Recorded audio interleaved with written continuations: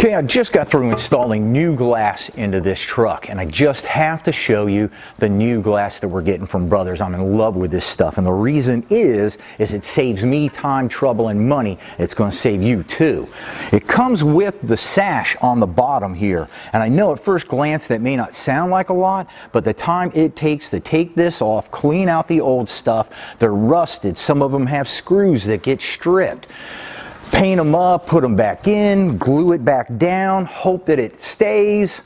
I got all those problems solved because the glass now comes with the sash already on it.